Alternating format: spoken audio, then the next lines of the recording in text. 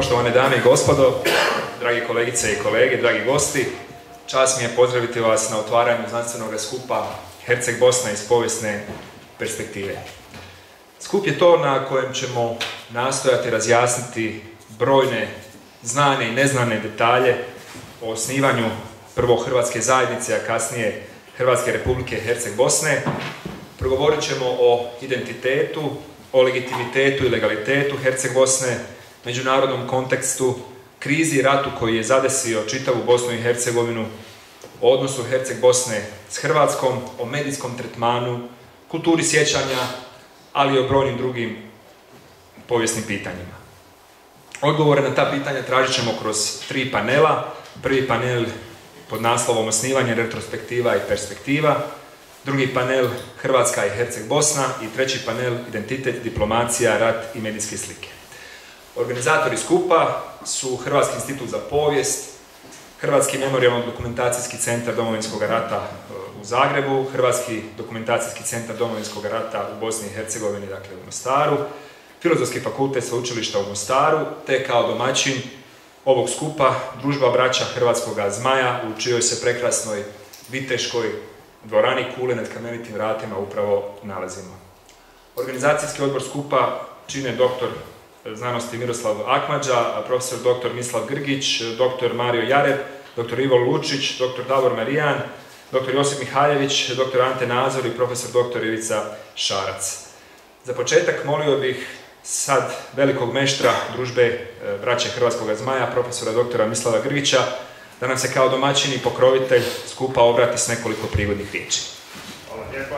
Evo, rekao bih, draga damo i draga gospodo, evo sve vas srdačno pozdravljam u ime družbe braća Hrvatskog Sve srdačno pozdravljam u ime družbe braća Hrvatskog zmaja. E, zahvaljujem e, organizatorima ovog e, važnog znanstvenog skupa, a to je, kao što znamo, dakle, Herceg Bosna iz povijesne perspektive. Prije svega tu je, tu zahvaljujem Hrvatskom institutu za povijest, zatim Hrvatskom memorijalno-dokumentacijskom centru Domovinskog rata, kao i Hrvatskom Hrvatskom dokumentacijskom centru Domovinskog rata u Bosni i Hercegovini te Filozofskom fakultetu sveučilišta u Mostaru na organizaciji skupa. Družba braća Hrvatskog zmaja, kao što vi ste već, većina, dakle gotovo svi povjesničari znate par riječi, ali evo, e, ipak e, par osnovnih informacija, vrlo kratko, osnovani smo 1905. godine, djelujemo u ovoj kuli nad kamenitim vratima, to je naše sjedište, u našem vlasništvu imamo i dvorac, jedan cijeli kompleks, stari grad Ozalj u Karlovačkoj županiji, E, zaslužni smo za to da smo već 1906. godine osnovali tri ključne institucije za grad Zagreb, pa i možemo reći Hrvate, a to je knjižni, gradska knjižnica, gradski arhiv i gradski muzej. 1909. osnovali društvo za spasavanje ili današnju hitnu pomoć. 1919. prenijeli kosti Zrinskih i Frankopana iz Bečkog Novigrada u Zagrebačku prvostolnicu. 1921. prenijeli kosti Eugena Kvaternika i njegovih sudrugova u Zagrebačku prvostolnicu, najzaslužniji za obilježavanje tisućite obljetnice Hrvatskog kraljevstva 1925. godine diljem hrvatskih zemalja. A s obzirom da je naš mandat uh, ovoga sada meštarskog zbora od 2001. do 2026. Dakle, on uključuje i 2025. godinu, a to znači 1100 godina Hrvatskog kraljevstva, u kojem smislu smo mi unutar družbe osnovali povjerenstvo za obilježavanje 1100. obljetnice Hrvatskog kraljevstva koji se sastoji od 30 članova i koje je već donijelo 18 projekata, od kojih smo neke već i započeli na njihovoj realizaciji jer 2025. nam je pred vratima. Nadamo se evo da ćemo u tom smislu surađivati i sa svim ovdje navedenim institucijama koje organiziraju ovaj e, znanstveni skup E, jer je to nešto što e, moramo učiniti na barem onoj jednakoj razini kako su to učinili naši predšasnici prije 100 godina. E, danas družba broji 360 članova, a od njenog osnutka prije gotovo 120 godina 1900 članova. Posebnost družbe je da 10% članova su svećenici i redovnici, pa su tako naši članovi bili kardinal Alojzije Stepinac kao zmaju Bakačeve kule, kardinal Franjo Kuharić kao zmaj kapitolski treći, a naravno i naš prvi hrvatski predsjednik, dr. Franjo Tuđman kao zmaj Hrvatske. E, evo, ukratko, družba danas jako aktivna, imamo 19 majskih stolova, prisutni smo diljem Hrvatske, a jedna od najaktivnijih naših sekcija u Matici, a to je grad Zagreb i Zagrebačka županija, povijesna sekcija koju vodi ovdje prisutni pročelnik, doktor znanosti Marija Jareb, zmaj Jurijev gradski od Tribunja. Evo, još jednom, nadam se da ćete se ugodno osjećati u našem prostoru. Mi ste već praktički tu i domaći. Ovaj, drago nam je da možemo pomoći Hrvatski institut za povijest kao glavni organizator ovog skupa, a i nekoliko skupova prije, s obzirom da se vaš prostor uređuje, pa da onda evo, možete koristiti ovaj naš prostor e, naravno bez ikakve naknade. E, a ovaj, e, ono što je također važno, znači da smo na raspolaganju i za bilo kakvu danju suradnju. Evo, nadam se da se osjećate ugodno, da će biti sve u redu ovdje i evo, želim vam svako dobro. Hvala. Zahvaljujem velikom meštru, e, profesoru doktoru Mislavu Grbiću na lijepim riječima i na njegovoj e, instantnoj potpori ovom, ovom e, skupu i veselimo se budućem, budućoj velikoj obljetnici ove zaista važne družbe za hrvatsku povijest i za hrvatsku općenito. Sad bih molio ravnatelja Hrvatskog instituta za povijest, e, doktora Miroslava Ahmađu, da nam se obrati također s nekoliko prigodnih riječi. Hvala lijepa, poštovane kolege, dragi prijatelji, sve vas lijepo pozdravljam. Ponajprije ponovno zahvaljujem našem domaćinu i našem susjedu, ovdje smo faktički 50 metara jedni od drugih. I što nas još povezuje, imamo jako lijepe povijesne dvorane, rijetko lijepe u Hrvatskoj, ne samo u Zagrebu. E, tako da se ovdje ugodno osjećamo već niz puta i nadam se da i u buduće ćemo imati tu prigodu dok se mi ne vratimo u naše prostore. E, ovaj današnji skup zapravo plod je naše trajne suradnje sa svim ovdje spomenutim ustanovama, ponajprije sa Hrvatskim dokumentacijskim centrom Domovinskog rata, s kojima ovakve teme iz Domovinskog rata redovito obrađujemo, s kojima redovito surađujemo, ali posebno mi je draga ta naša stalna suradnja sa ovim našim ustanovama iz Bosne i Hercegovine, gdje također postoji jedan već dugotrajni kontinuitet i ono što mi kao Hrvatski institut za povijest možemo naglasiti i reći da će kao i do sada, ali i u buduće, naša istraživanja o povijesti Hrvata u Bosni i Hercegovini, kao i cijele Bosne i Hercegovine, kao i Hrvata diljem svijeta, biti značajno zastupljena u našem radu i da to nikada neće, neće prestati. Tako da ovaj skup samo to potvrđuje. Radi se danas o jednoj važnoj, a rekao bih medijski, bar kontraverznoj temi, za koju je prošlo sasvim dovoljno vremena da možemo sa nekakvim odmakom još dublje analizirati ta događanja iz teških vremena početkom 90. godina, o kojem danas svaki ima svoje mišljenje i o kojem pišu ponajprije oni koji o tome ništa ne znaju. No danas smo mi odlučili pozvati samo one koji o tome znaju i koji se time bave i koji tu problematiku istražuju. Ja znam da će biti vjerojatno komentara jer vidim u smislu je li nije zvan ovaj, nije zvan onaj. Oni koji su ovih dana vidimo da nešto komentiraju, nikad se nisu bavili ovom tematikom, a niti ja znam, ili bar mi ne znamo neke ljude koji se bave ovom problematikom, a da ih nismo pozvali. Znači oni koji pišu po novinama i komentiraju ovu problematiku, to je njihova stvar. Ovdje su znanstvenici pozvani koji poznaju problem i koji to istražuju i koji će to i u budućnosti istraživati. Normalno da danas mi tu priču nećemo završiti, da će godine pred nama otvarati još mnoge dokumente, mnoga saznanja, ćemo imati, još su mnogi arhivi zatvoreni, još su mnogi dokumenti nedostupni, ali mi ćemo danas izići s onim na s čime raspolažemo. Normalno sa znanstvenim pristupom, sa govoreći o Herceg Bosni i ono što je bilo dobro i ono što nije bilo dobro, o, ponajprije o razlozima i uvjetima zašto je nastala i kako je nastala, a i ono što se dalje razvijalo kroz njeno postojanje, odnosno kako je djelovala. Sa svim znači svojim pozitivnim i negativnim aspektima koji se pojavljivali u društvu. U tom smislu, dragi kolege, kolegice koji se bavite ovom problematikom, koji ćete danas sudjelovati sa znanstvenim pristupom u ovome skupu. Želim vam uspješan rad i želim vam uspješna daljna istraživanja i vjerujem da će ona biti plodonosna. Hvala vam lijepo. Zahvaljujemo doktoru Akmađi. Molio bih sad doktora Antu Nazora da nam se kratko obrati ispred Hrvatskog memorijalnog dokumentacijskog centra Domovinskog rata. Cijenjene kolegice i kolege, kolega Akmađe je sve rekao. Ja ću se samo osvrnuti da je očito ovaj skup povodio zanimanje javnosti i naših kolega koji se inače time ne bave.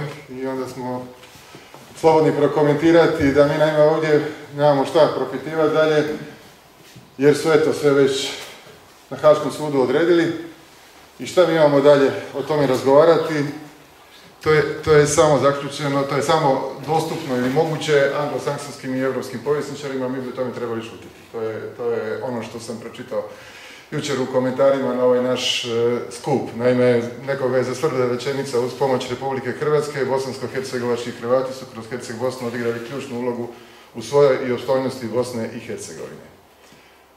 30 godina ali koliko već, malo manje od završetka rata, ako nekome nije jasno da je to činjenica i da mnogo ljudi je već radilo na tom istraživanju i da je ovaj zaključak utemeljen na izvorima, onda je bolje ne komentirati.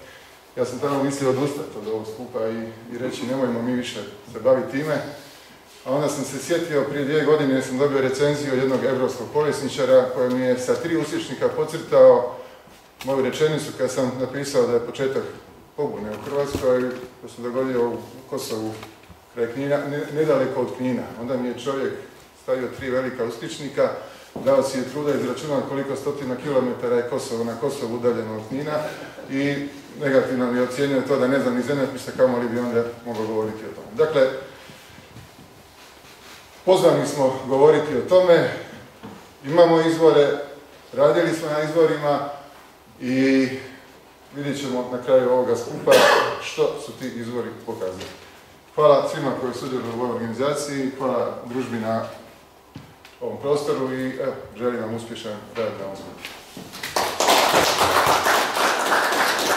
Zahvaljujem doktoru Nazoru. Sad bih molio doktora Dražana Barbarića, dekana Filozofskog fakulteta u Mostaru, da nam se također obrati. Poštovani uvaženi domaćini, organizatori ovoga skupa, poštovani sudionici skupa, dragi gosti, kolegice i kolege. Moram priznati da mi je osobita čast, dakle, što se danas nalazim ovdje, što imam priliku ispred Filozofskog fakulteta Sveučilišta u Mostaru predstavljati, dakle, i taj odsječak ove nacionalne zajednice. E, osobno mi je veliki i teret, moram priznati, ali i ponos što mogu sudjelovati, dakle, sa svojim tezama u radu ovoga skupa. E, vjerujte da je nekad jako teško da za nešto što zovemo Herceg Bosnom, za što su ljudi u Bosni i Hercegovini emocionalno vezani, nešto što nosi značajan simbolički teret, odnosno simbolički kapital u smislu identiteta, da na svakodnevnoj razini, na razini sredstava općega javnog informiranja, javnih RTV servisa, najčitanijih portala, se uvijek uz ovu sintagmu veže takozvana.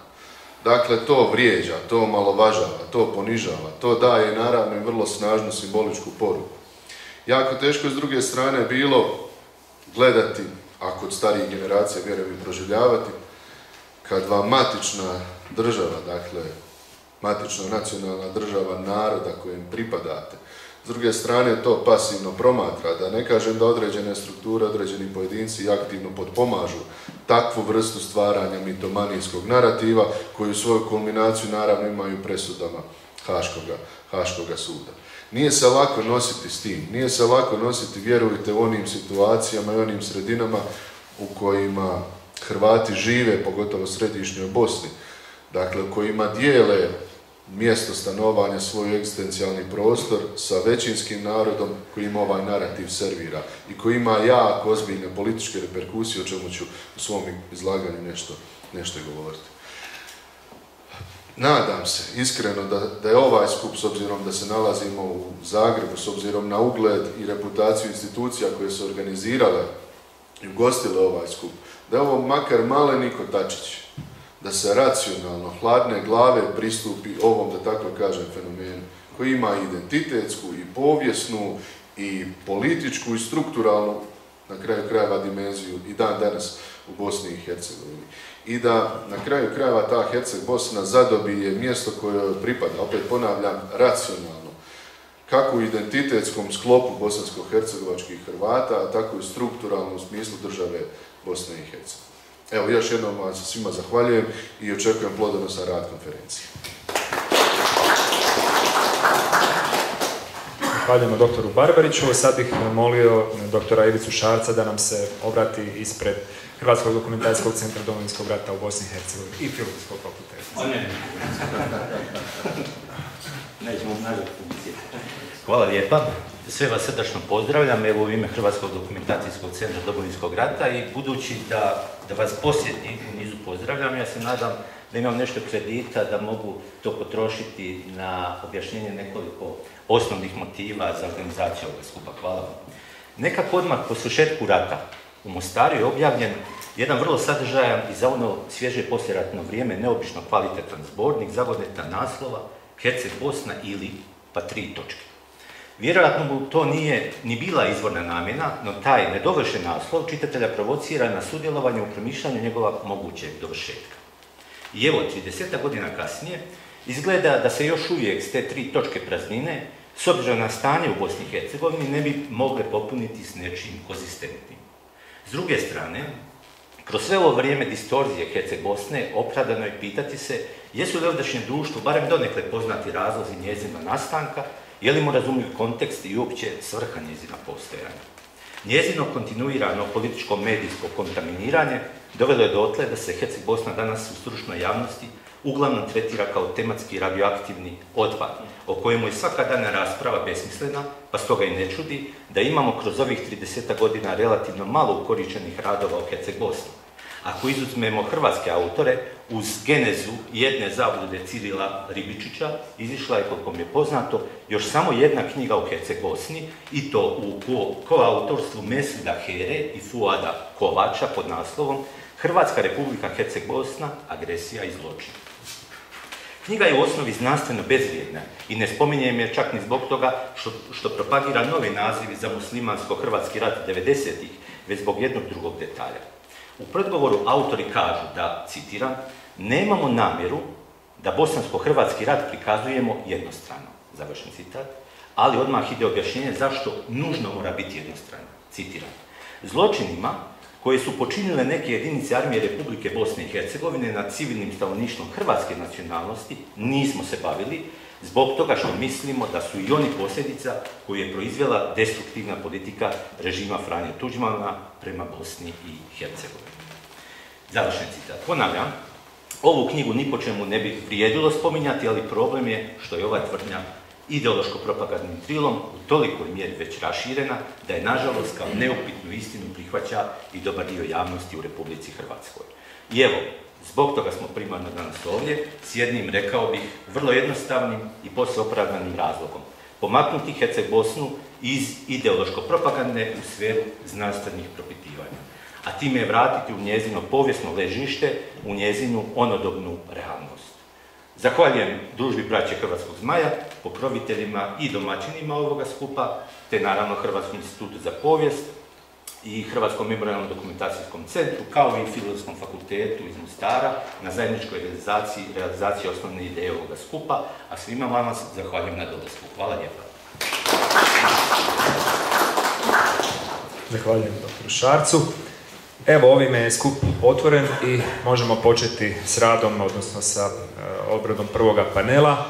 Molio bih e, samo na početku da e, sve sudionike da se pridržavamo vremenskog ograničenja od 15 minuta da bismo ovaj, bili u onom našem rasporedu koji je, koji je predviđen. Ja ću voditi ovaj, računa o vremenu. Dvije minute prije kraja ću javljati da je ostalo samo dvije minute, tako da ovaj, ne morate sami oko toga brinuti.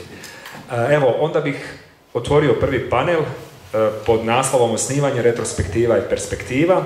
Prvi naš govornik je e, dr. Ivica Lučić s Hrvatskog instituta za povijest koji će govoriti na temu razlozi osnivanja i želje za obnovom Hrvatske zajednice Herceg Bosne.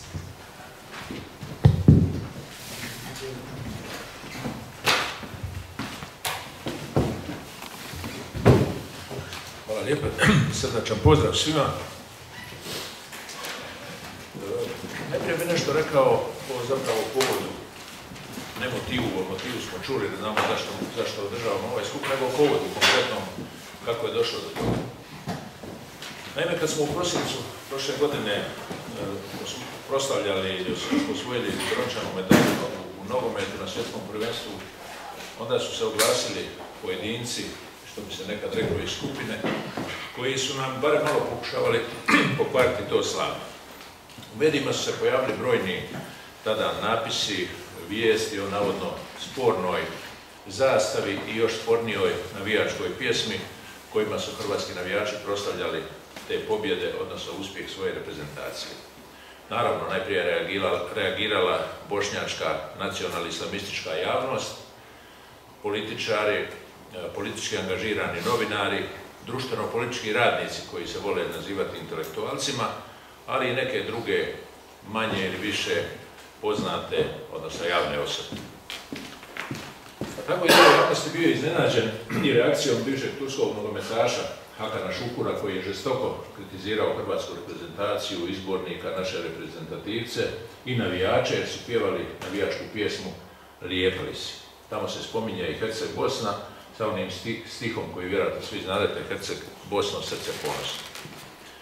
Taj dio javnosti uglavnom ne zna da je Šukur na listi da je na listi Erdoganove stranke Pravde i razvoja svojevremeno izabran u Turski parlament, da se kao dugogodišnji pristaša bivšeg imama i islamista Fetulaha Gulena razišao s Erdoganom i sklonio u Sjedine američke države gdje radi kao vozač Ubera i ulični preprodavač knjiga.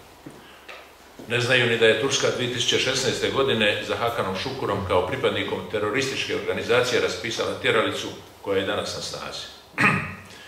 dakle, Željan makar malo medijske pažnje, taj nekada dobar nogometaš, loš političar i nedovoljno afirmirani terorist, sasuo je medijsku vatru i sumpor na Hrvatsku, a naravno poslije njega je reagirao i to uzeo kao važan argument dobar dio one projugoslavenske i jugoslavenske javnosti u Hrvatskoj, najprije svega medija, koji inače teško podnose svaki hrvatski uspjeh. E u takvoj atmosferi je nastala ideja o osnivanju, održavanju ovoga skupa, gdje bismo napokon trebali iz jedne znanstvene perspektive reći što je to bila Herceg Bosna, zašto je osnovana, kako je, kako je funkcionirala i kako je konačno rasformirana, odnosno kako se transformirala u Federaciju Bosne i Hercegovine Washingtonskim sporazumima. Dakle, ona nije jednostavno nestala, ukinuta, nego je ugrađena u Federaciju Bosne i Hercegovine. E, doista je teško, sad kad gledamo vratimo se samo na te stvari koje, su nam svima poznate cijeloj javnosti bez ulaska u ovaj, ovaj, ovu znanstvenu dimenziju. Doista je teško, bez puno zloće, bez puno pristranosti i natezanja, znači bilo što problematično, recimo u toj Perkovićevoj pjesmi Lijepali si, a najmanje ga optužiti za prisvajanje teritorija druge države, u ovom slučaju Bosne i Hercegovine, posebno ako imamo na umu da on pripada onoj pravaškoj tradiciji koja to drži e, zajedništvom koja smatra da su bošnjaci braća, da je to dio istog naroda, da je to samo neka nesretna podjela zapravo dovela ili neki nesretan slučaj doveo do te podjele eventualno zato krivi komunisti i, i, i Jugoslavije. Što se pak tiče ove navodno sporne zastave Herceg Bosne, to je sada službena zastava Županije Zapadno-Hercegovačke, a donedavno je bila službena zastava Županije Herceg-Bosanske i Posavske. Pod pritiskom Ustavnog suda i raznih, na razne druge načine te dvije županije su bile prisiljene mijenjati svoje oznake, pa i nazive čak, dok je županija Zapadno-Hercegovačka zadržala te oznake i kad dođete u Hercegovini, zapadni dio Hercegovine, Ljubuški, u Grude, u Posušje, na Široki brijeg, onda ćete vidjeti svugdje te zastave kao službene zastave, vidjet ćete policiju sa oznakama tim, sa hrvatskim grbovima koje čak malo i, i, i uočljivijim nego što su to u Republici Hrvatskoj. E, ujedno, ta zastava je i nacionalna zastava Hrvata u Bosni i Hercegovini. To je jako važno znati. Posebno je jako važno znati da je ona zastava bijela zastava sa onim Kotromanićevim, Kotromanovićim, odnosno Ažuvinskim, Kotromanića, Ažuvinskim ljiljanima, ode mi na Anto Kotromanovića, ovaj. Ažuvinskim ljiljanima, da je ta zastava od 29. prosinca 2012. godine nacionalna zastava svih bošnjaka svijeta. Dakle, kad vidite zastavu sa Ljiljanima, onda to nije zastava neke Republike Bosne i Hercegovine ili Armije Bosne i Hercegovine, odnosno nije samo zastava to, nego je to i nacionalna zastava svih Bošnjaka. Naime, oni su to 2012. na taj datum na svjetskom kongresu Bošnjaka u Sarajevu, gdje su, kojim su predsjedali Rejs, Cerić i tako dalje i, i, i drugi ovi kompletna ulema, oni su to proglasili svojom nacionalnom zastavom. I tako to i drže. I kad te zastave vidite danas po stadionima i na drugim mjestima, imajte na umu da se radi o bošnjačkoj zastavi. E sad, dolazimo do onog o čemu, zbog čega smo ovdje, a to je da, da i danas u Hrvatskoj, u jednom dijelu i medija i javnosti, pa i znanstvene javnosti, stručne javnosti, iako je tu znanstvenost i stručnost na određeni način samim time i upitna, e, problematično zašto je nastala Herceg-Bosna, kako je nastala, je li trebala nastati, ima li ona opravdanje svoje povijesno za postojanje, treba li o tome uopće danas govoriti, moramo li se mi možda toga stiditi, jer je ona tako zvana na način kako je bila tako zvana nezavisna država Hrvatska, pa možemo li tu povući neku paralelu pa i zajedno ovaj, pa u repotarnicu povijesti i sl. Naime, Herceg-Bosna je nastala, tu treba gledati na kontekst, iako svaki put kad spomenete kontekst, to, to ispada nekako problematično. To je, naime, jedno, jedno, jedno izgovor za nešto ili određeni, određeno političko stajalište. Danas kad govorimo o ratu u, u Izraelu, sukobu Izrael, Izraelaca, Palestinaca ili Ukrajine ili, ili Rusiji, čim spomenete kontekst, ispada da ste zauzeli neku stranu, jer mnogi bi htjeli bez konteksta govoriti, samo o sadašnjoj situaciji, bez da se razumije ono prije. Konačno kad uzmemo u obzir ove presude Haškog suda koje su ovdje spomenute, one nemaju nikakav kontekst. Da pače, tamo se izbjegao svaki kontekst.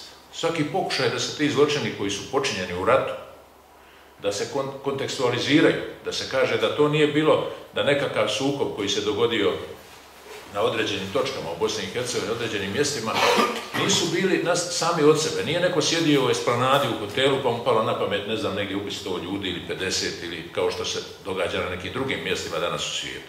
Ne, to je bio rat i u tom ratu su se događali i zločini.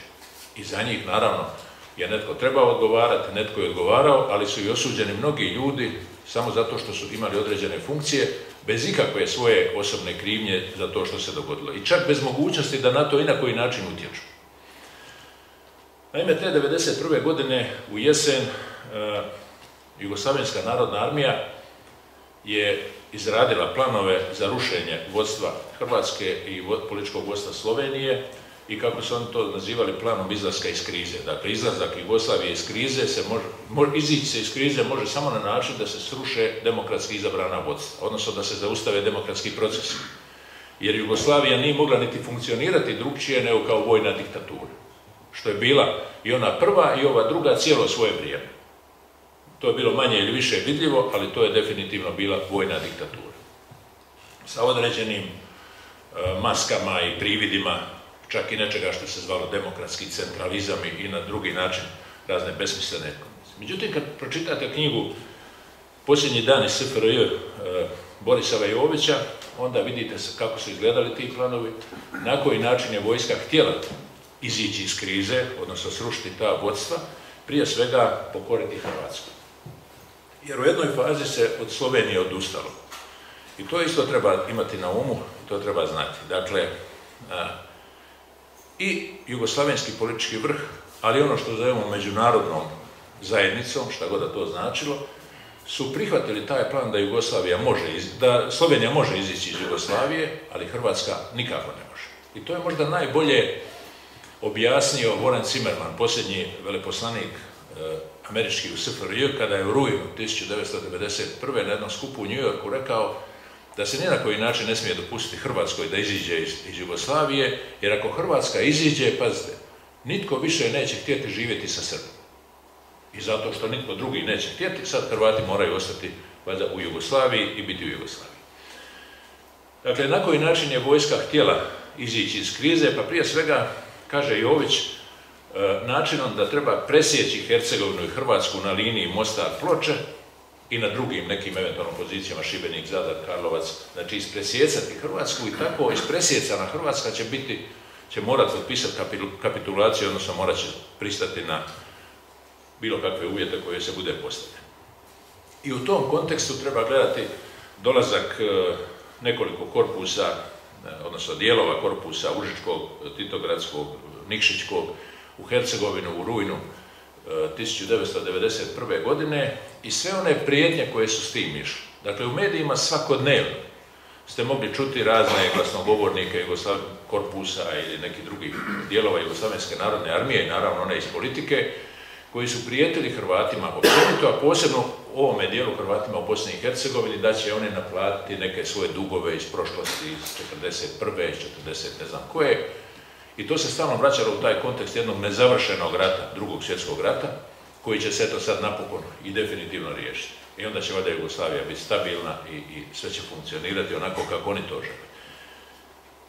E, dolaskom tih korpusa počeo se ostvarivati taj plan presjecanja Hercegovine, međutim, zbog lošeg odaziva i zbog spremnosti tog e, dijela Hrvatskog korpusa na obranu, ali i zbog događanja u Hrvatskoj i baš nedovoljno, e, nedovoljnih uspjeha, kako su oni to e, planirali, oni su morali te svoje planove reducirati, pa nisu išli prema pločama, nego su, nego su krenuli prema Slanom, prema Dubrovniku i dolje su to uspjeli i dijelove hrvatskog teritorija okupirati, a Dubrovnik su držali dugo u okruženju, što znam znači to je počevši od 1. listopada, gdje su naravno prilikom e, napada na Dubrovnik spalili i nekoliko hrvatskih sela, glavno od njih i najveće je selo Ravno koje je postalo potom i poznato kao centar, nekakvo mjesto stradanja.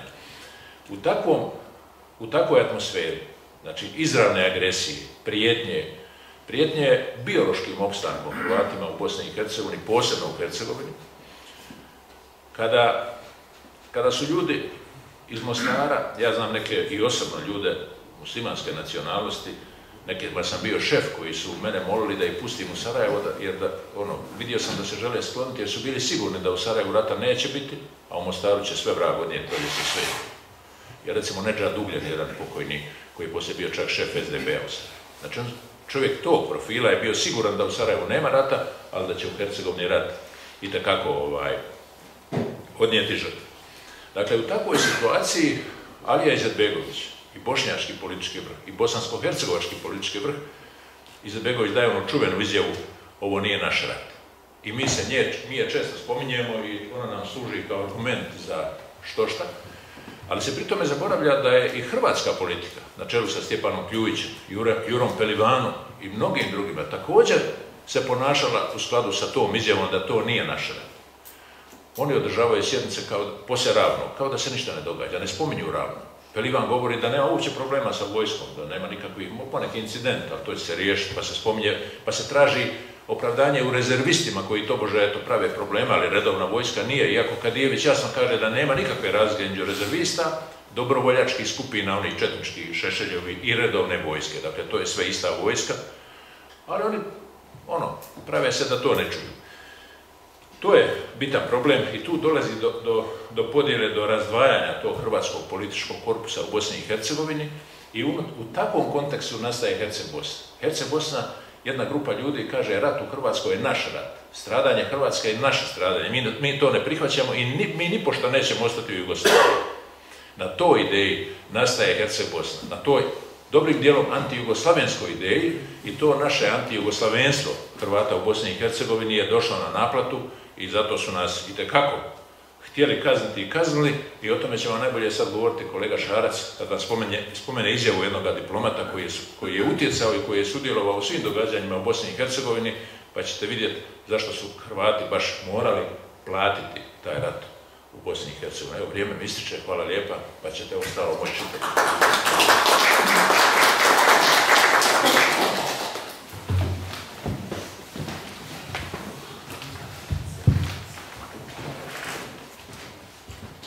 Zahvaljujem doktoru Lučiću na njegovom izlaganju. Molio bih sad profesora doktora Ivicu Šarca da nam kaže nešto više o razlozima uspostave Hrvatske republike Herceg Bosne.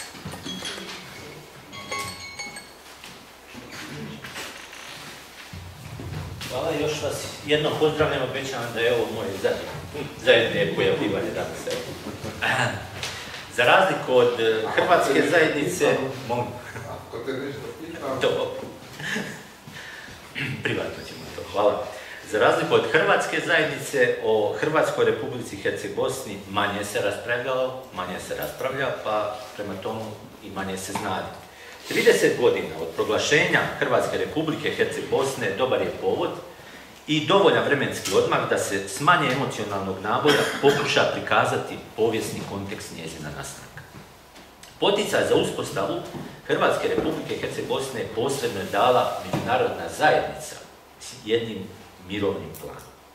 Podsjetimo kako su međunarodni posrednici tijekom rata inicirali više mirovnih prijedloga kojima bi se zaustavili ratni sukobi u Bosni i Hercegovini među Srbima, Hrvatima i muslimanima od 93.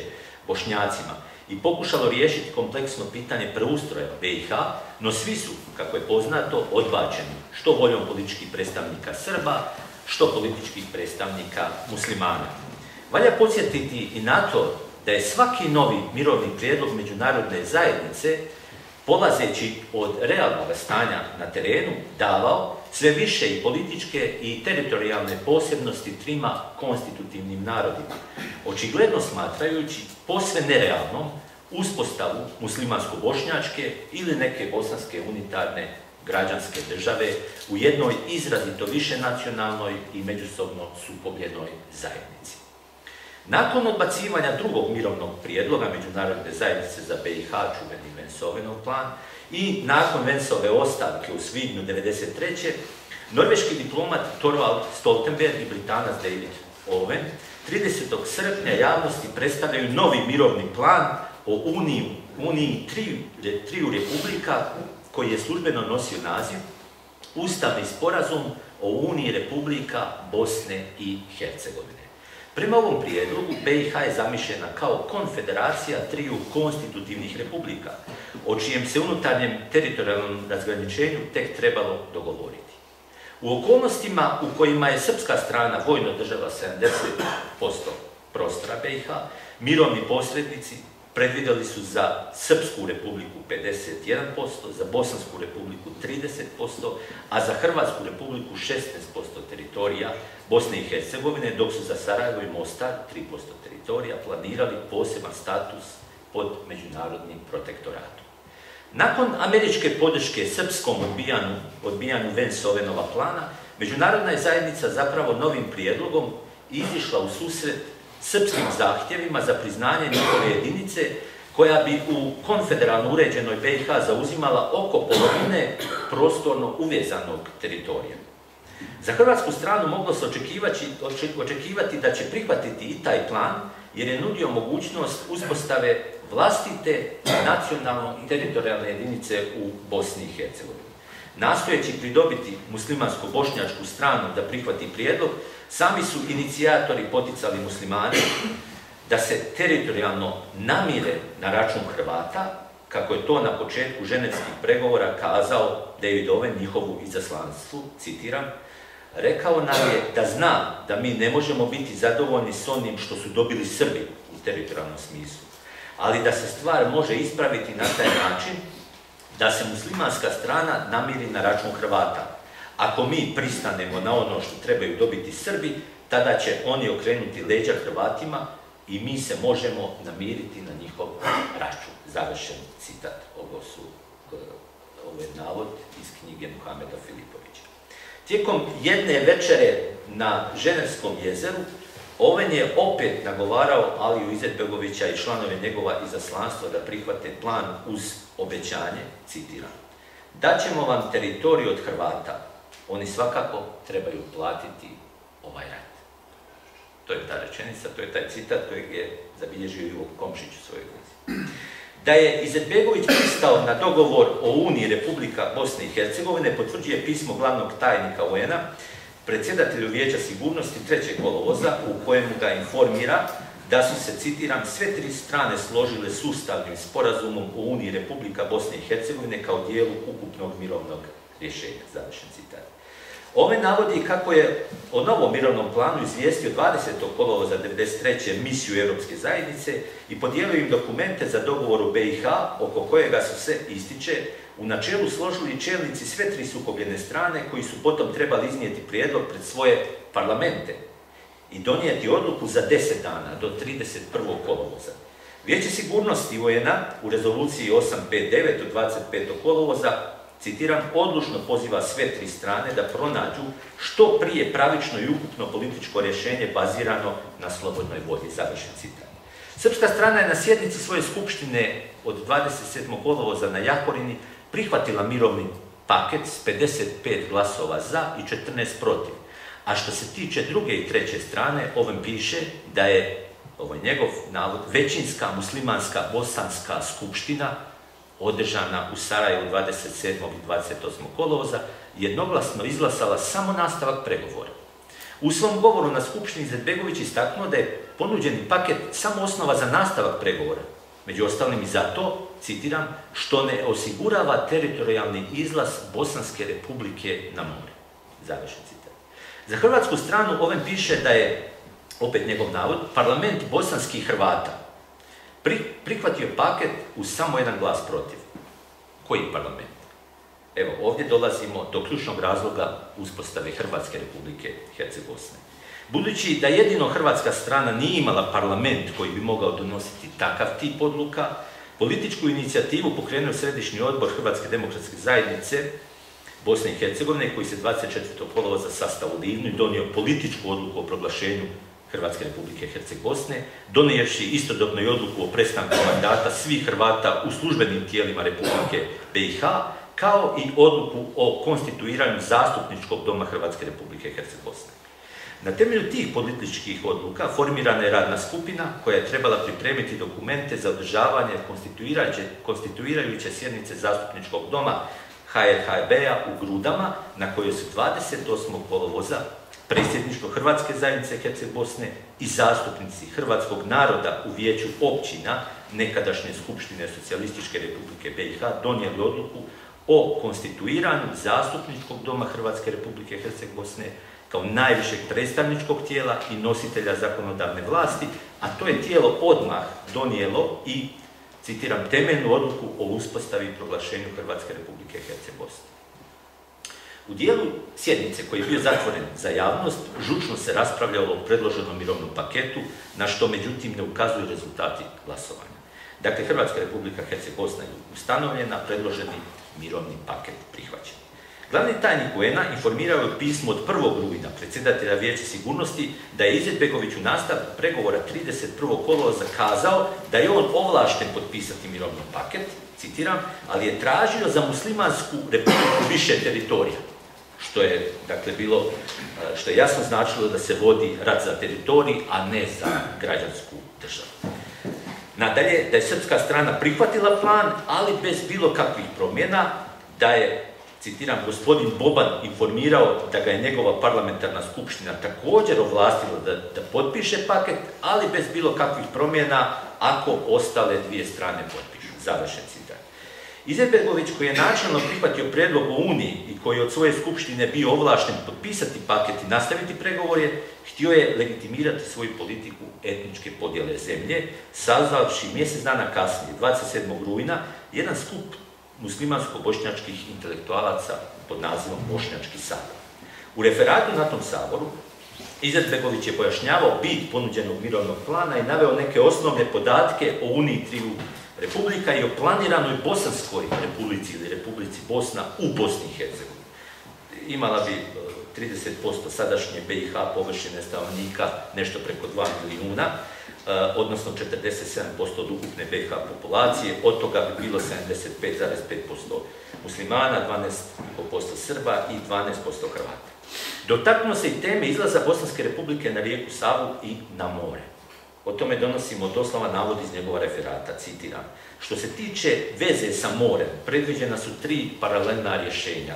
I to, komad zemlje na poluostrvu Klek sa pristupnom cestom Stolac Neu, ili slobodna zona u luci Ploče najmanje na 99 godina ili izgradnja vlastite luke na Neretvi kod Višića, 3-4 km uzvodno od Metkovića, sa slobodnim prolazom kroz Hrvatsku rijekom Neretvom. Završen citat. Predloženi mirovni paket Bošnjački sabor je prihvatio većinom glasova pod uvjetom da se muslimani muslimanima vrate osvojeni teritoriji u istočnoj Bosni, na što srpska strana nipošto nije pristajala, pa se može reći da ga je muslimansko-bošnjačka strana praktički odbila. Drugim riječima, za razliku od Srpske republike i Hrvatske republike Herceg Bosne, Bosanska republika nije zaživjela. Nakon saznanja da je muslimansko-bošnjačka strana odbila mirovni plan, Zastupnički dom Hrvatske republike Herceg Bosne donio je zaključke 1. listopada na zasjedanju u Neumu o obvezama hrvatskih pregovarača ako, citiram, obje strane ne prihvate aktualni mirovni plan do 15. listopada, završen citat, naloženo im je među ostalim da u tom slučaju, citiram, odbiju svaku raspravu o bilo čijem protektoratu nad Mostarom, glavnim gradom Hrvatske republike Herceg Bosne, te da odbiju svaku raspravu o pristupu moru Hrvatske republike Herceg Bosne u smislu teritorijalne koncesije. Završen citat. će se pregovori još neko vrijeme, no i dalje neće biti suglasja oko teritorijalnih razgraničenja, tako da je Oven Stoltenbergov plan o Uniji triju republika u propao. U svojoj balkanskoj odiseji Oven je konstatirao da su, citiram, muslimani jasno izabrali nastavak rata, što, nije, što i nije bilo neočekivano s obzirom na to da ih je i on u ime međunarodne zajednice poticao da se teritorijalno namire na račun Hrvata. Dva dana nakon što je počeo teći rok za izjašnjavanje parlamenta triju strana o mirovnom prijedlogu, u Zenici je 21. i 22. kolovoza vojni vrh armije BiH održao savjetovanje na kojemu je dogovoren nastavak rata i to supravo i to upravo s planovima teritorijalnog namirivanja na račun Hrvata. Plan o uspostavi Unije triju republika u BiH nije ostvaren, ali je sa svojim tijelima vlasti počela zaživljavati Hrvatska republika Herceg Bosna i to u, okolnostima kada su se intenzivirali muslimansko-hrvatski oružani sukobi u jednom doista brutalnom ratu, u kojemu je sada svima bilo jasno da to nije nikakav rat za građansku Bosnu i Hercegovinu, već za teritoriju. Zbog sve masovnih zločina i etničkog čišćenja na objema stranama, Obnovile su se i pojačale aktivnosti međunarodnih posrednika, sada i Sjedinjenih američkih država, u nastojanjima da se sukobljene strane ponovno uključe u političko-diplomatske pregovore s ciljem okončanja rata između Hrvata i muslimana. Tako da je bilo sastanaka između predstavnika Republike Bosne i Hercegovine i Hrvatske i Hercegovine. Rezultat tih aktivnosti bio je napokon prestanak sukoba i preliminarni sporazum o stvaranju Federacije BiH, od 18. ožujka 1994. Uz Republiku Hrvatsku i Republiku Bosnu i Hercegovinu su potpisnica ovog sporazuma bila i Hrvatska Republika Herceg Bosna. Evo, tu ćemo stati. Hvala vam na pozornosti.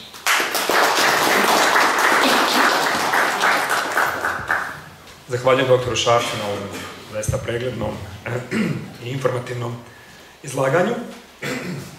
Molio bih sada eh, doktora Davora Marijana Hrvatskog instituta za povijest koji će nam, da nam izloži svoju temu Herceg Bosna i Bosna i Hercegovina od 1991. do 1995. Hvala.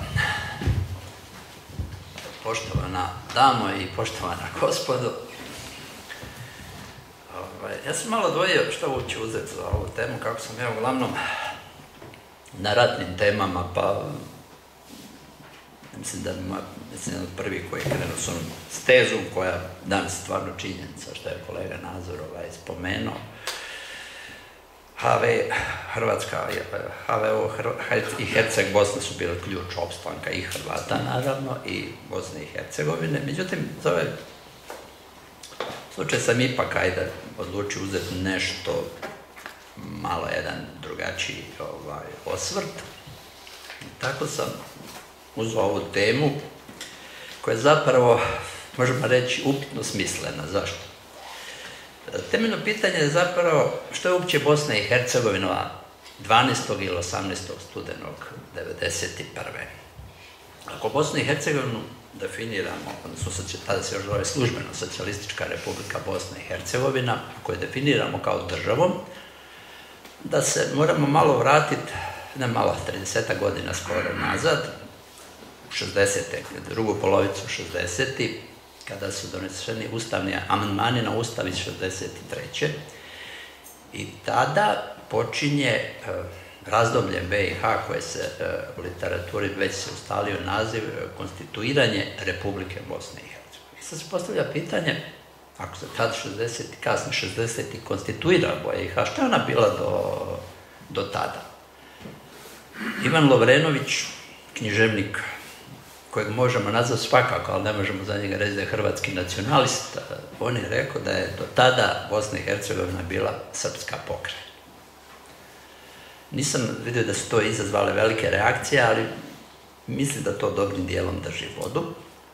Ja sam se bavio u zadnjih nekoliko godina intenzivno Hrvatskom 80. godinama, pa na primjeru Hrvatske otprilike mogu reći, to vjerojatno, a još više to važi za Bosnu i Hercegovinu, da su od, znači kasno 60, pogotovo 84, a tek nakon smrti Josipa Broza Tita, da su sve republike u bivšoj Jugoslaviji zapravo države u državi, da je to bila jedna ovaj, konfederacija, konfederacija u kojoj su republike imale znači težinu. I s tom težinom BiH, BiH su napravljeni izbori, pobjedile su tri nacionalne stranke i onda polako počinje kopniti vlast. Vlast se ruinira intenzivno kraj lipnja 1991. Ovaj, kad kada u Drvaru Milan Martić postrojava one svoje, svoju, a mi u Hrvatskoj kažemo paravojsku iz, iz Knina, i završni čin nestajanja države Bosne i Hercegovine kao države, po mom mišljenju ovdje već spomenuti Izetbegovićevo obraćanje javnosti 6. listopada 1991. kojim je pamtimo po onoj čuvenoj rečenici ovo nije naš rat. To je za me potvrda da je to prestala biti država, jer nakon toga što je Bosna i Hercegovina. Bosna i Hercegovina je teritorij po kojem svako ko ima dugu cijev šeta i radi što hoće. U tom smislu ovdje postavlja pitanje kakav je uopće onda smisao ovog naslova. I vrlo jednostavno. Već u kolovozu 1992. kada su Srbi promijenili ime, preimenovali svoju Srpsku republiku Bosnu i Hercegovinu u Republiku Srpsku, oni su poručili da, da za njih Bosna i Hercegovina ne postoji i onda se ovaj odnos zapravo svodi, odnos Herceg Bosne i Bosne i Hercegovine se zapravo svodi na odnos Hrvata i muslimana. Ono što je bitno ovdje reći, znači trenutak kad se osniva Herceg Bosna, znači osniva se kolega Lučić je to poprilično dobro objasnio, ko je osniva, zašto se osniva, nema potrebe da ja ovaj, to ponavljam. Ja ovdje, znači, ona ni u čeme ne dovodi u pitanje državnu vlast, te vlasti zapravo više nema. I sam Alija Izebegović priznaje da to je jedno stanje, on će poslije reći na jednoj sjednici, ja mislim 93 godinu dana nakon travnja 92. znači negdje travnja 94. da se sve raspalo kada je eskalirao rat, kada je rat došao u Sarajeva, kao da je neko šakom udario o, o tresno i sve se, kompletan sustav se raspao. I tek, znači, cijeli rat je zapravo BiH teritorij u smislu država nema elemente države, međutim, Sarajevo je zadržalo sve institucije, odnosno zadržalo je zgrade, simbolično, sve ono što je činilo državu, znači gdje su bile institucije države, sve to ostalo u rukama ovaj, Bošnjaka i tako se ovaj odnos zapravo opet svodi na Hrvate i, i Hrvate i muslimane. Kada je izbio rat, šta se zapravo ti prvi mjeseci koji su naj bitni kad kažem izbio rat, rat je zapravo počeo ranije, Bosna i Hercegovina u ratu od, praktično od kolovoza 1991. kada je Banja Lučki korpus počeo prelaziti preko, ovaj, preko rijeke Save u u zapadnu Slavoniju. To je bio inače pričuvni korpus koji ima u miru 2000 vojnika i koji je mobilizirao više od 20.000 ljudi, tako da mi još recimo nismo izračunali koliko je uopće građana BiH s pričuvnim sastavom, pričuvnom statusu, koliko je uopće ratovalo protiv Hrvatske, moje procent su negdje oko 30 tisuća. znači iz BiH se napada Hrvatska i Ali Izbegović kaže da to nije, nije ovaj, njihov rat, očito je. Jo. U tom vremenu uoči osnimanja ovdje upozorio na, na, jedna, na jedan zaključak od 12. studenog 1991. u Grudama. Naime, 12. studenog su očito planirane sinkronizirano biti osnovane obrane. Hrvatska zajednica Bosanska Posavina i Hrvatska zajednica Herceg Bosna i onda su se sastale ove dvije regionalne zajednice, Tranička i ovaj, Mostarska i donijeli su onu jednu, jedan zaključak koji nije javno objavljen, da hrvatski narod u Bosni i Hercegovini mora konačno povesti odlučnu aktivnu politiku koja treba dovesti do realizacije našeg vjekovnog sna zajedničke hrvatske države. Ja prvi put sam vidio taj dokument, vidio sam ga u prijepisu kod uh, Smajla Čekića u knjizi iz 83. ili iz 84. Ja sam mislio prvo da je to krivotvorina. Ko politički pismen može napisati ovaj, tako nešto. Međutim, on je odraz dvije stvari. Prvo odraz stanja koji se tom trenutku događa. Znači, to je, piše populacija koja nema dvojbe da je to njihov rat. I s druge strane, to je pokazatelj šta je 45 godina komunizma napravila zapravo Hrvatskoj, da vi nemate nekakvu elitu koja je stanje politički razmišljati. I nakon šest dana nakon toga osniva se ova Hrvatska zajednica Herceg Bosna i od tada konstantno ona sva svoja rješenja bilo koja, uvijek su uvijek je rješenje unutar Bosne i Hercegovine. Kada je izbio rat, kakav je odnos, to je meni ovako kao nekakav istraživač koji se bavio dosta ovom problematikom. Traven, svibanj, lipanj, recimo, to su, 92. naravno, to su mjeseci koji su najteži za nekakve analize.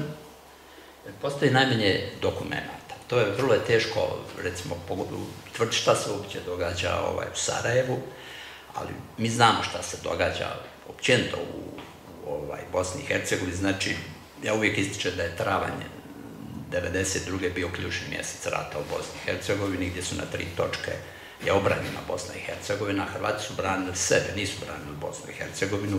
Mi bismo rekli da je kolateralna posljedica, da ne kažem kolateralna šteta Hrvatske obrane što je Bosna i Hercegovina opstala, ali braneći sebe Hrvatska je stvorila okvir da opstane Bosna i Hercegovina u smislu kojem naravno ovaj, danas postoji. Sve to vrijeme službeno Sarajevo, odnosno Izetbegović, ignorira Herceg Bosnu, on se zapravo i ne javlja, ne javlja se.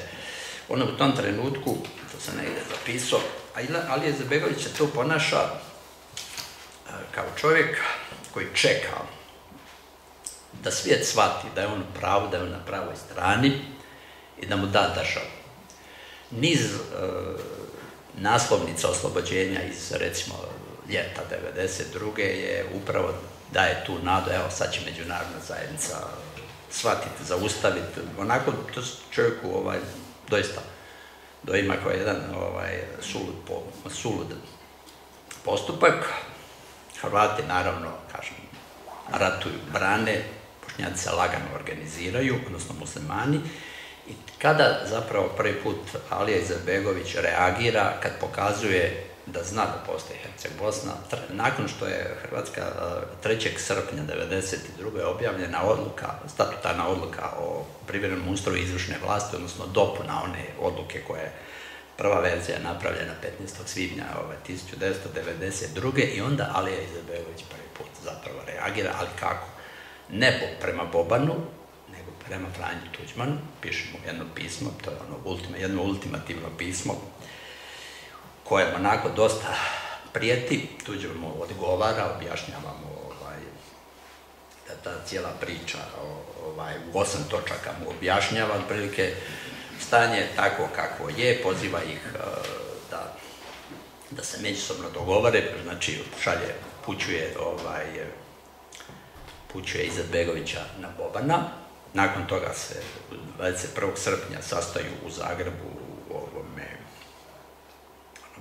jednom velikom sastanku koji je dugo trajao, to je dosta jedan, to je veliki transkript koji, što meni uvijek bilo zanimljivo, nikad nije objavljen, kad ga pročitate jasno vam je ovaj, zašto ovaj, nije objavljen, tu je na, na tom sastanku Izetbegović, da tako kažem, donekle povukao ovaj, ručnu, međutim on svoju taktiku zapravo je to više strategija, ne mijenja, on i dalje komunicira s Tuđmanom, on konstantno uvlači Tuđmana u priču o, o BiH, jer zna da politički bolje stoji od Tuđmana u tom smislu, na kraju krajeva, u onim najtežim trenucima rata u svibnju 1992. međunarodna zajednica je dva puta prozvala ovaj, HVO, ustavila, odnosno Hrvatsku, ustavila zapravo u istu razinu ko što je stavljena ova, Srbija, to za, onda vam se danas nekakvi stručnjaci pa kažu, kad govore o Hrvatskom muslimanskom radu 93. na četvrtu, Vijeće sigurnosti je prozvalo Hrvatsku. Vijeće sigurnosti je 92. tri put prozvalo Hrvatsku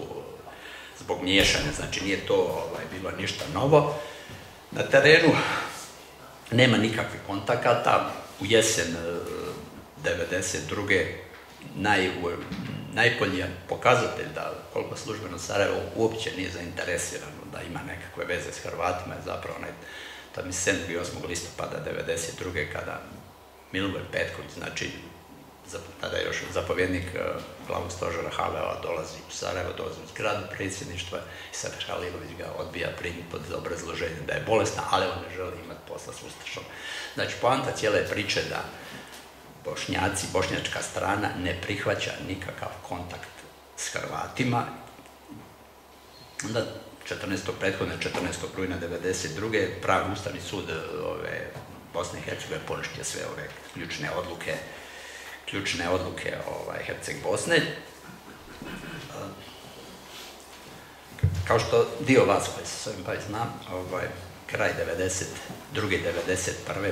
od 93. pogotovo sjećan izbio je sukob, u veljači 92 armija radi planove za sukob. Ja bi ovdje praktično privao kraj ovaj svoj dio priče sa tri, e, tri pisma koje govore o nekakvoj politici međusobnoj, koje zapravo pokazuju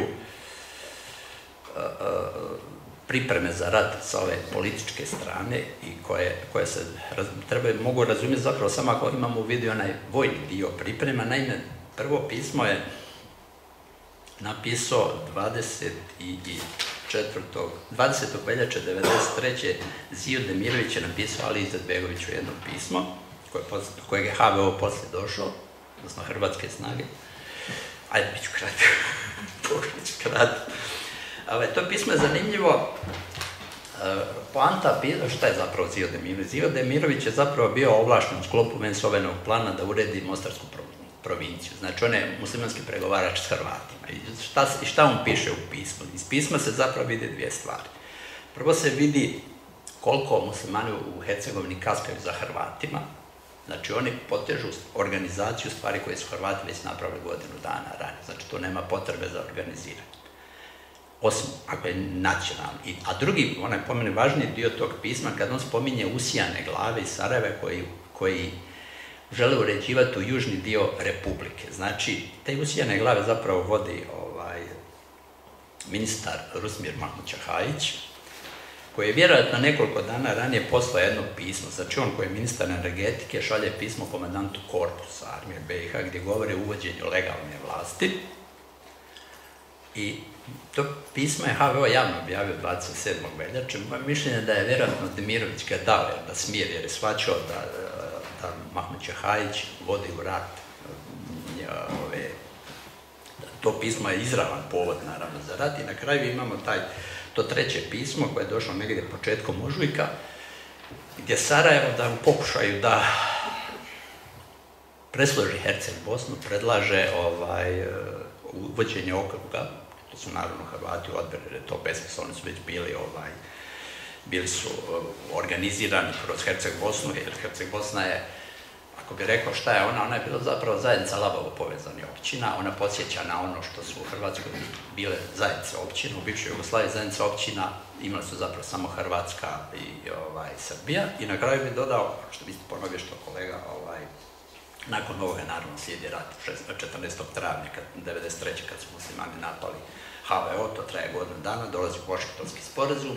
S Washingtonski sporazum se zapravo spaja i Hrvatska i Hrvatska, ovo dolazimo opet na ovaj početak, znači dolazi do spajanja Herceg Bosne i ostatka Bosne i Hercegovine, a ovaj položaj danas u kojem se nalaze Hrvati nije rezultat rata, nego kasnije intervencija, posljeratnih intervencija ovih međunarodnih predstavnika. Hvala.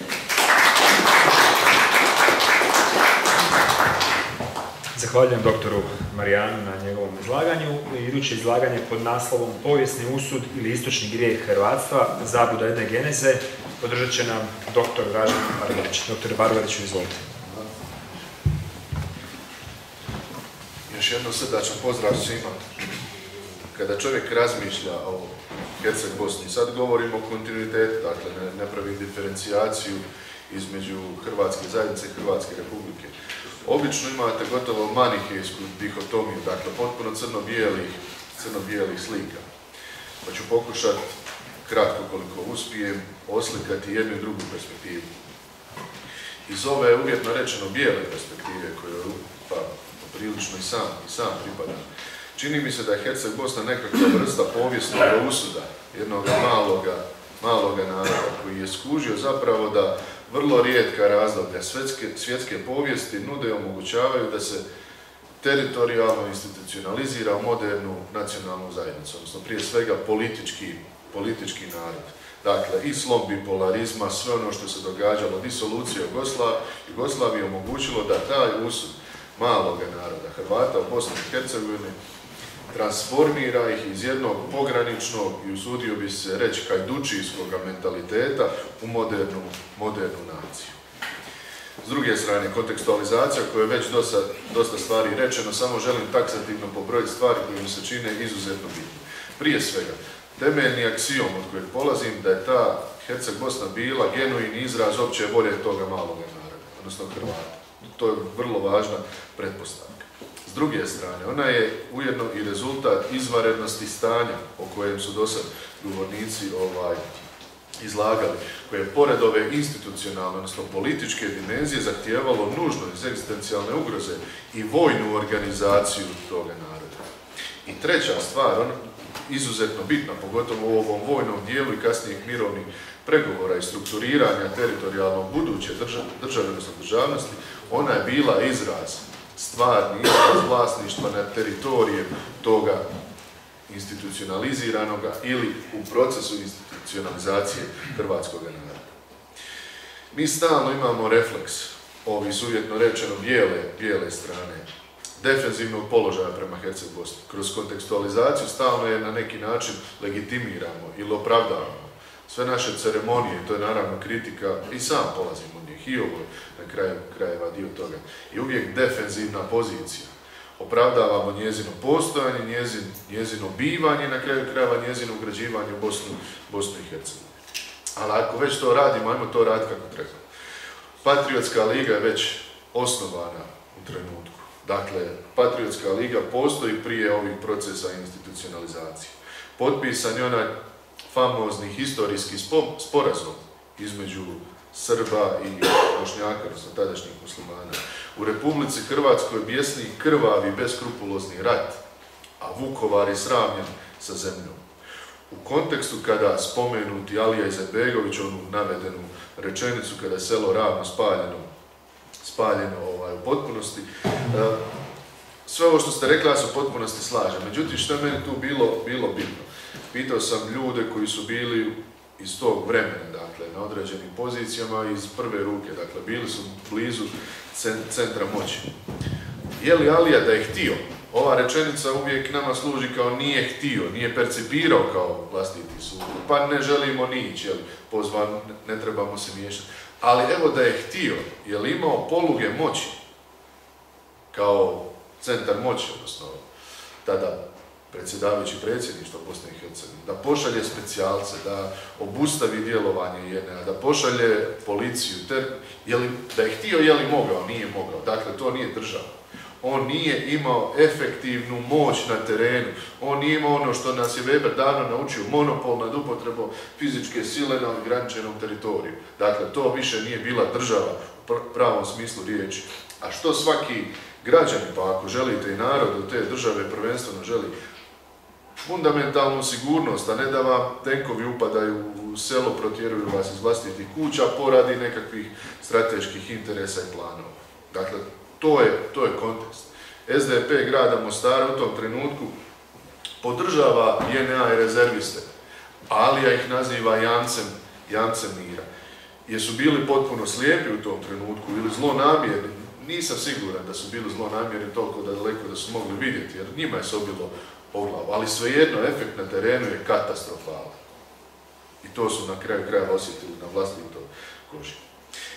Haim Weizmann, prvi predsjednik države Izrael, 47. u UN-u, kaže jednu zanimljivu rečenicu, citiram. Svijet koji nas ne čuje u ovom trenutku agonije, bio bi gluh za glas pravde i ljudskih osjećaja, koji naše društvo mora podignuti glasno i jasno kako bi preživjelo. Kraj citata. Mislim da je to pozicija hrvatskog naroda Bosni i Hercegovine u kontekstu kojim sam rekao. Dakle, Herceg Bosna je glasno i jasno podizanje glasa, institucionalizacija toga naroda iz puke nužde. Dakle, da bi se ta ugroza koja je potpuno već vidljiva u Republici Hrvatskoj na neki način prevenirala ili makar ako dođe, a došlo da bi se od nje, od nje. Međutim, što je bitno? Scott Peck u svojoj knjizi gdje se bavi de facto državama, što je, zanimljiv koncept u odnosu na takozvane kvazi države. Dakle, de facto države su obično one države koje imaju populaciju, teritorij, ali vrlo reducirano. Ali nemaju međunarodno priznanje. Za razliku od kvazi država koje upravo imaju to. Međunarodno priznanje, ali nemaju efektivnu suverenost, odnosno vlast na terenu. Herceg Bosna se skoro pa savršeno uklapa u njegov koncept de facto državnosti. Republika Srpska 100%, dakle, ulazi, ulazi u taj, u taj kamp. A vrlo lukavo interpretacijom knjige spomenutog Cirila Ribičića, bez obzira što znamo kako je ona nastala, bez obzira što, što stoji u pozadnji, bez obzira na njegovo nepoznavanje same, same materije. Citiram iz, iz njegove knjige. S normativnog stanovišta, de jure, HZHB imala je sve bitne elemente koji određuju državnu zajednicu. Državna zajednica u nastajanju. Dakle, to je njegovo određenje. Praktički naravno iz potpuno drugih pobuda. On potvrđuje da je Herceg Bosna zapravo nekako stekla, pa makar iz nužde, puke nužde, elemente de facto državnosti u odnosu na kvazi državu koja je zapravo Bosna i Hercegovina u tom trenutku. Jer ne može da želi zaštititi ni malo selo ravno, a kamoli glavni, glavni igrač, što će se kasnije obistiniti. Dakle, moja teza je da je Herceg Bosna de facto državnost i stanja puke egzistencijalne nužnosti i pritisaka međunarodne zajednice, o čemu je profesor Šarac govorio, da se na kraju krajeva institucionalizira, uvjetno rečeno, i taj glas Hrvata, odnosno predstavnici zbog njihovih mirovnih, mirovnih sporazuma. U svemu tome, Herceg Bosna na kraju krajeva nije po ovoj matrici, odnosno logici Republike Srpske, odnosno srpskog političkog vodstva, išla iz prava na samopredjeljenje i nekakve vrste institucionalizacije s ciljem separatizma, nego svim svojim temeljnim aktima, zaključcima, pa i odlukama, odlukama Skupštine, odnosno zastupničkog doma, naglašavala se ta konstitutivnost hrvatskog naroda koji će se kasnije na neki način ugraditi, bio to budući savez republika ili na kraju kraja ovo što smo, što smo dobili. Dakle, Hrvatska republika Herceg Bosna je pokazala da postoje nekakva vrsta kolektivnih, grupno specifičnih, neotuđivih prava Hrvata koji nose udio suverenosti. Zašto? Zato što imaju efektivnu vlast, moć na terenu gdje zapravo postoji Herceg Bosna, odnosno, odnosno HVO. Vrlo zanimljiva situacija. Mi praktički imamo jednu kvazi državu koja postoji samo na papiru praktički. I dvije de facto države koje su u međusobnom. Što je vrlo rijetko u međunarodnoj teoriji, međunarodnim, međunarodnim odnosima. Potpuno vam je jasno da ondje gdje Hrvatska Republika Herceg Bosna prije svega HVO, pa političko-vojna institucionalizacija te volje hrvatskog naroda, gdje nije opstala, gdje je na neki način slomljena, protjerana, politički na kraju krajeva gurnuta u zapičak, tamo hrvatski narod u ovom trenutku je sveden na statističku grešku. Sveden je na kulturni i religijski privjesak lažnoj multikulturalnosti Bosne, Bosne i Hercegovine. Sveden je na kraju krajeva, nažalost, na marginalni politički politički faktor. E svemu tome, i to je ono što sam uvodno riječi rekao, to boli i provocira, ponižava. Stvoren je jedan mitomanski kompleks, prije svega je Sarajevo potpomognuti međunarodnom zajednicom, a nerijetko i centrima moći upravo iz, iz Republike Hrvatske. Stvoren je kompleks koji sam ja u radnoj verziji nazvao istočnim grijehom Hrvatstva. Dakle, prije svega vam se spočitava NDH, to smo vidjeli kod misle za Blajput. Dakle, NDH je ekskluzivan projekt etničkih Hrvata. Svi ostali su amnestirani po principu individualne, odgovornosti ili zablude u tom trenutku, kako kažu, tuđih barjaka. Dakle, NDH je tuđi barjak iz perspektive Sarajevske čašije, Sarajevske, Sarajevske moći. Zatim vam se lupa glavom tezom udruženom zločinačkom pothvatu. Dakle, svi smo odjednom postali UZP-ovci.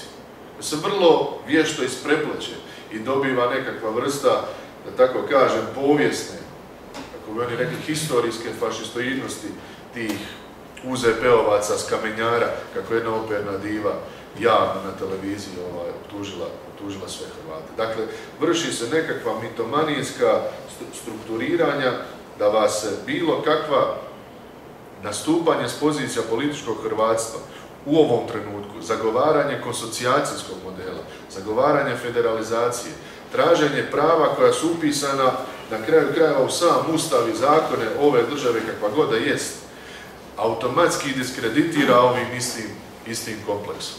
Dakle, on je kao onaj ideološki sonar, prepoznaje vas UZP-ovce te fašiste skamenjara i diskreditira vas u javnom prostoru. Vi kao takvi ne možete artikulirati političke, političke zahtjeve. A o zločinima da ne govori. Dakle, svaki zločin HVO, gledajte, ne postoji normalna glava u Bosni i Hercegovini, Hrvatska, koja će negirati. Ali ne može kolumnist indeksa nedavno napisati kad se tematizira zločin armije Bosne i Hercegovine, zaključiti otkud vam pravo niste spomenuli niti jednog Mahmića.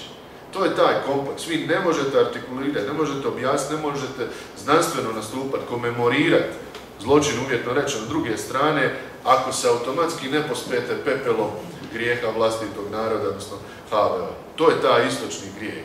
Stalno vas tjera na nekakvu vrstu defensivne samolegitimacijske e, pozicije. I još jedna stvar, pa ću, pa ću završiti. Postoje opća mjesta ove mitomanije. I citirat ću jednu vrlo zanimljivu. Recimo, Karadžorđevo je opće mjesto. Podjela Bosne i Hercegovine. Tim se barata od zastupničkog doma, doma naroda, središnjih dnevnika do ovakvih stvari, znanstveno-stručnih skupa. Citiram, nepokorivu Bosnu i Hercegovinu nisu uspjeli podijeliti i uništiti srpsko-hrvatskim sporazumom. Cvetković Maček iz 39. Stojadinović Pavelić iz 54. Milošević Tuđman iz 91. te Karadžić Boban iz 92. godine. Neće u tome uspjeti ni najnoviji sljedbenici zločinačke politike podjele države Bosne i Hercegovine. Milora Dodik i Dragan Čović i njihovi mentori u Beogradu i Zagrebu. Kraj citata. Ovo nije obskurni bot i komentar na kliksu. Ovo je Denis Bečirović, član predsjedništva Bosne i Hercegovine iz reda bošnjačkog naroda. A ovakvih teza, ovakvih e, citata javnog narativa, narativa ima bespravno. I još jedan koji želim, koji je zastrašujući. Također ne radi se o Botu, radi se o Reofu Bajroviću, uglednom, uglednom članu svih međunarodnih simpozija ovoga tipa, bez obzira što se mi podsmjehivali, redoviti gost Washingtona u različitim dimenzijama, redoviti analitičar Al Jazeera, jedan, dakle, ovih uvjetno rečeno međunarodnih e, medija. Zločin ima nacionalnost, žrtve imaju nacionalnost, zločinci imaju nacionalnost.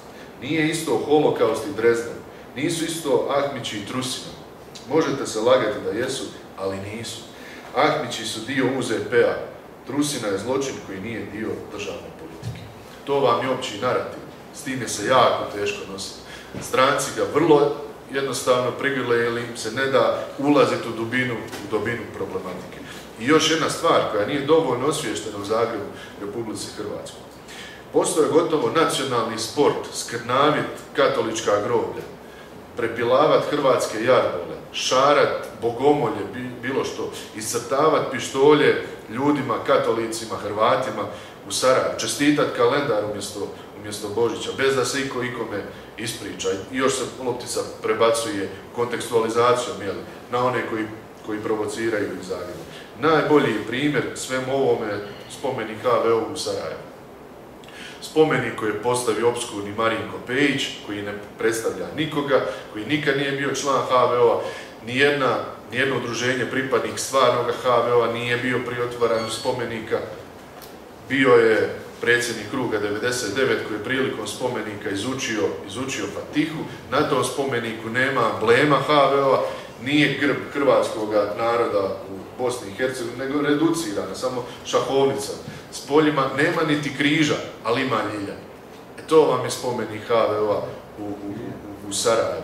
I to vam je općenito poruka i pozicija ovoga mitomanijskog narativa prema Hrvatima Bosni i. Isprike.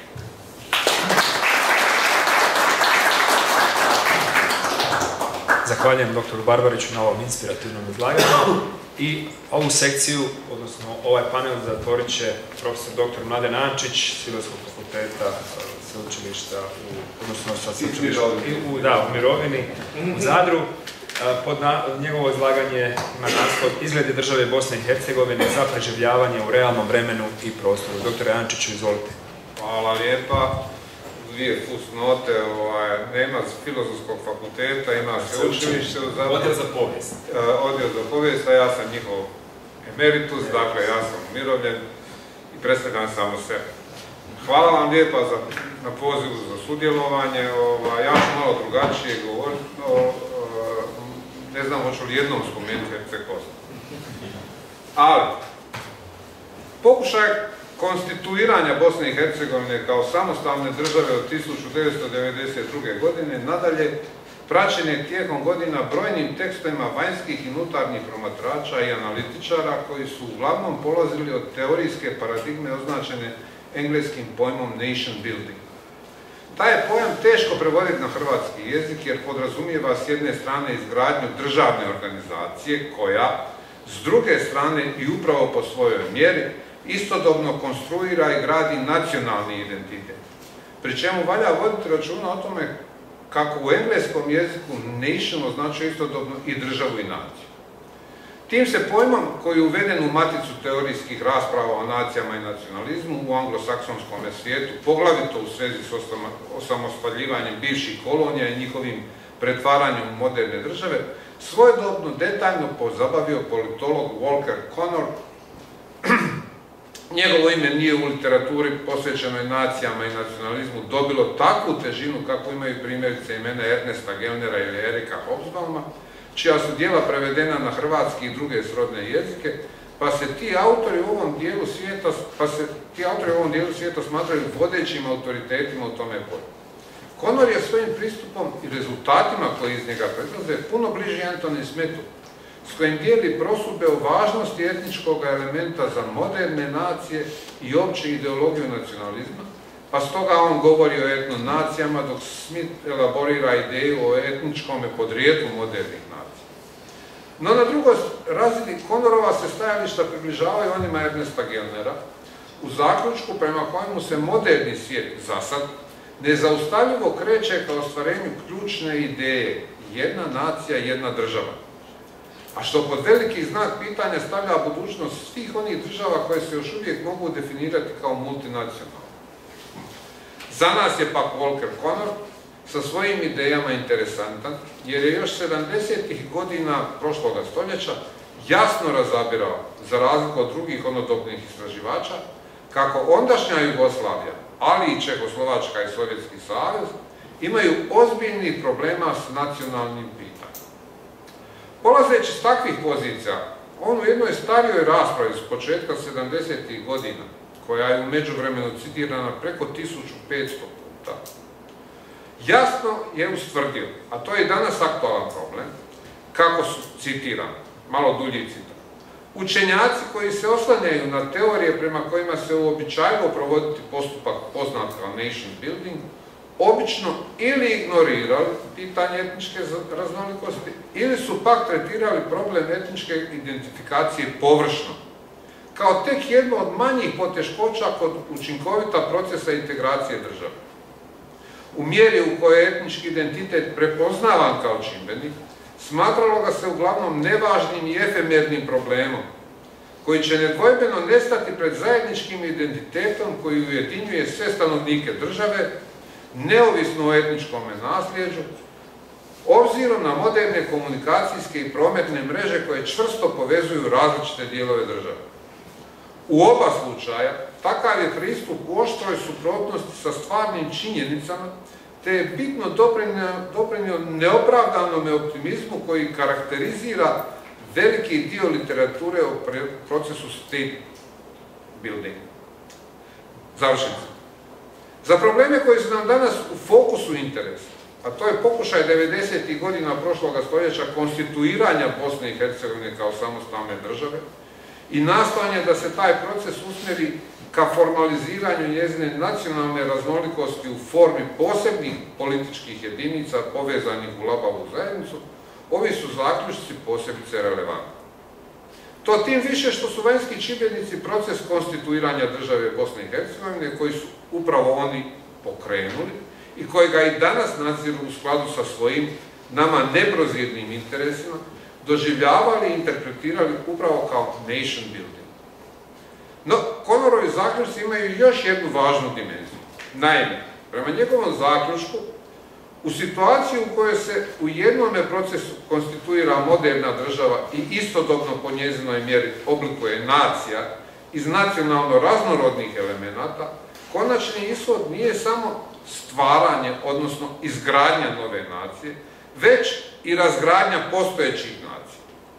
U tome smislu valja upozoriti na njegove zaključke kako ih je početkom 21. stoljeća oblikovao još jedan istraživač koji se u svojim postavkama ne razlikuje bitno od njega Brendan O'Leary, koji to ovako artikulira. Citat. Za očekivati je da stabilna multinacionalna država počiva izravno ili neizravno na političkoj premoći relevantnog štatsfolka, dominantnog naroda, rečeno drugačije, svaka multinacionalna država će se pokazati nakon doba nacionalizma kao projekt državno sponzorirane asimilacije i kao takav uvelike politički problematičan. Završen citat. Iako je ovo sve oblikovano i napisano i prije što je problem Bosne i Hercegovine aktualiziran u međunarodnim razmjerama, jasno se može očiti relevantnost ovakvih stajališta upravo u slučaju nastojanja na izgradnji BiH države nakon sklapanja mirovnog sporazuma u Daytonu. U tome kontekstu nije u Konorovu štac folku teško prepoznati bošnjačku naciju čiji je proces izgradnje okončan upravo u ratu od 1992. do 1995. U lokalnim razmjerama je to artikulirano kroz ideju bošnjačke političke i akademske elite o tomu kako upravo njihova zajednica predstavlja temeljni narod nove države, dok su prema takvim sačanjima Hrvati i Srbi u toj državi osuđeni na razgradnju nacije. U praktičnom smislu to zapravo znači etničko očišćenje. Odnosno nestanak kroz asimilaciju u bosansku naciju, putem akulturacije ili, ako to ne uspije, na fizičku eliminaciju bilo iseljavanjem, bilo nasiljem. Pritom se uvijek računalo kako će takav proces nation buildinga uživati podršku vanjskih čimbenika logikom njihove zainteresiranosti za održanje države koju su sami pomogli uspostaviti.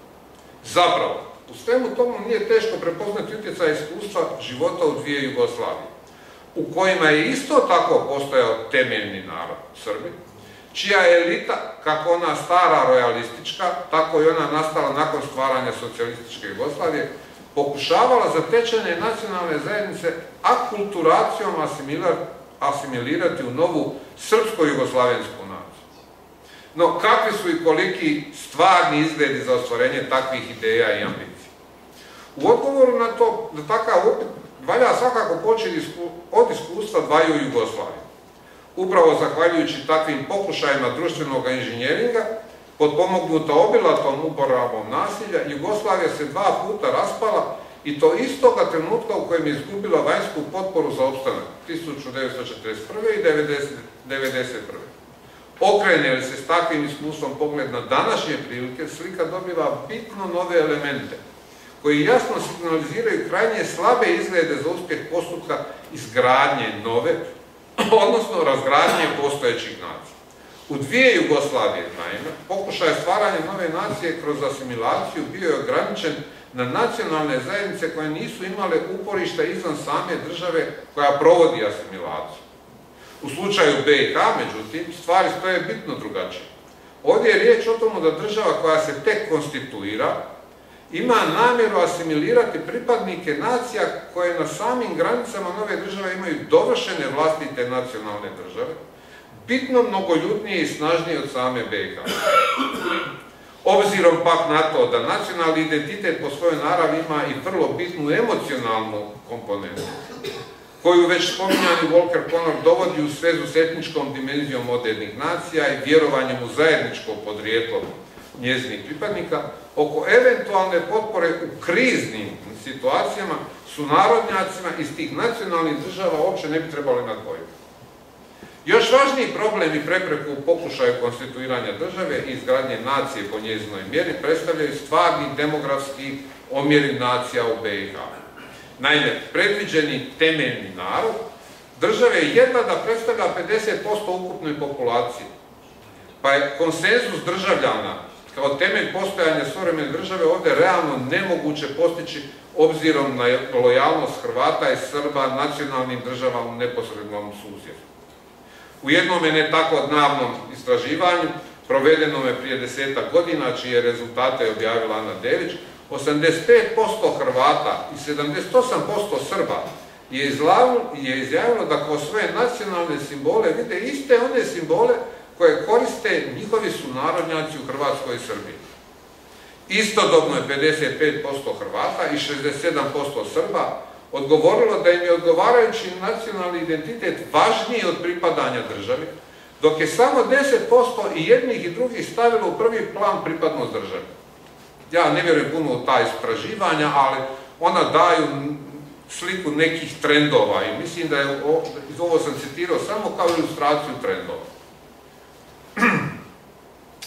Pritom valja svakako naglasiti kako BiH nije ni postala samostalnom državom voljom većine njezinih stanovnika 1992. godine. Na referendumu provedenom u ožujku te godine odlučivalo se samo o tomu hoće li cijela BiH ostati u okviru Jugoslavije. No ni tada nije bilo moguće dosegnuti dvotrećinsku volju stanovnika. Svoju kolektivnu volju o tomu Srbi su ranije dali do znanja na svome posebnom, formalno nepriznatom referendumu, na kojemu je golema većina, neovisno o mogućim manipulacijama prilikom glasovanja i prebrojavanja, jasno iskazala volju za ostanak u istoj državi sa Srbijom. Već je tada bilo jasno da više od trećine ukupne populacije, što je jako daleko od zanemarive veličine, ne želi BiH kao zasebnu državu. Dok je potpora Hrvata o samostaljenju tadašnje federalne republike bila u najvećoj mjeri rezultat promičbene kampanje kroz koju se glas za taj čin predstavljao kao glas protiv Jugoslavije. Skoro četvorogodišnji rat koji je uslijedio neposredno nakon referenduma samo je produbio razlike i učvrstio međunacionalno nepovjerenje, tako da je konsenzus državljana danas još udaljenija mogućnost no što je to bio početkom 90. godina prošloga stoljeća.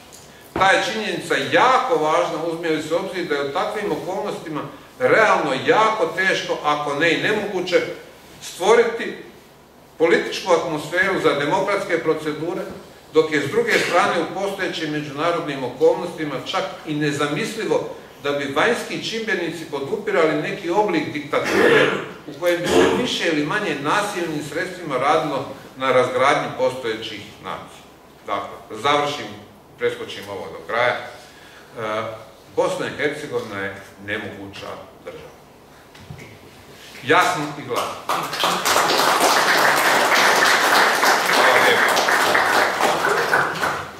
Zahvaljujem profesoru Ančiću i ispričavam se što sam ovaj, odjel za povijest sveučilišta u Zadru prekrstio filozofskim fakultetom. E, evo, dragi e, sudionici, dragi gosti, ovime smo, ovim izlaganjem smo završili zapravo naš prvi panel. Dogovor je da raspravu ostavljamo za kraj, dakle